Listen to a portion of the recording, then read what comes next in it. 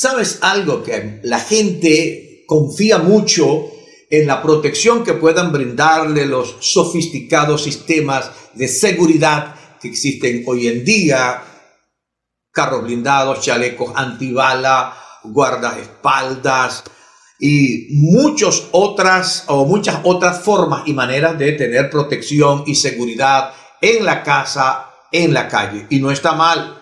Esas cosas están allí para usarlas. Sin embargo, aún con todo y eso, sigues corriendo peligro. Pero te tengo una palabra de Dios para ti en el Salmo 121. Y es que Jehová te guardará de todo mal, dice el versículo 7. Él guardará tu alma. Jehová guardará tu salida y tu entrada desde ahora y para siempre.